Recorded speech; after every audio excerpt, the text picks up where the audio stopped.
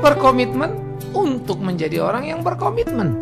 Wow, alangkah indahnya. Camkan itu dan pikirkan itu. Belajarlah berdialog pada diri. Tak hanya menyampaikan dialog orang lain lewat mulut ini. Belajarlah berdialog pada diri. Bertanya apa kemampuan kita. Belajarlah berdialog kepada diri dan berjanji kepadanya. Apa yang harusnya dilakukan dalam hidup ini. Supaya hidup kita tak hanya sekedar mesin fotokopi. Yang memproduksi tapi bukan hasil jerih diri. Supaya hidup kita tak sekedar menjadi mesin fotokopi. Yang hanya bisa memperbanyak tetapi mengulang apa yang sudah ada tanpa pernah mencipta apa yang baru.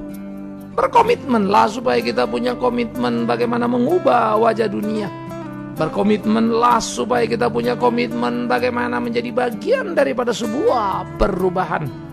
Tak mengambil keuntungan dari kecerdasan orang. Tak mendaur ulang sehingga membawa orang hanyut dan tenggelam hanya pada masa lalu yang penuh dengan sejuta kisah sukses yang tak lagi pas di kekinian.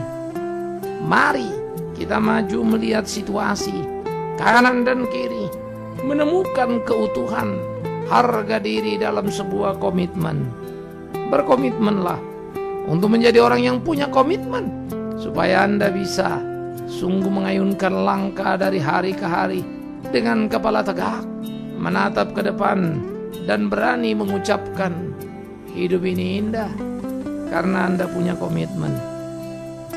Mencipta peluang-peluang baru, memberi nilai-nilai baru.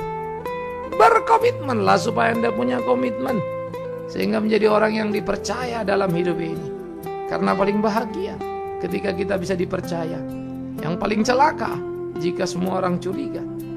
Tak lagi memperhatikan apa yang kita ucapkan, mereka hanya memikirkan kebohongan apa yang sedang kita rancangkan. Sangat menyedihkan kalau itu adalah kehidupan Anda. Tiap kata mereka hanya akan bertanya.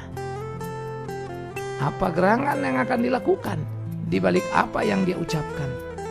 Sedih ketika jadi orang yang dicurigai. Bahagia ketika jadi orang yang dipercaya. Di mana Anda ada? Tentukan posisi diri. Temukan diri. Selamat berkomitmen untuk punya komitmen. Bersama saya, Big Man Sirai.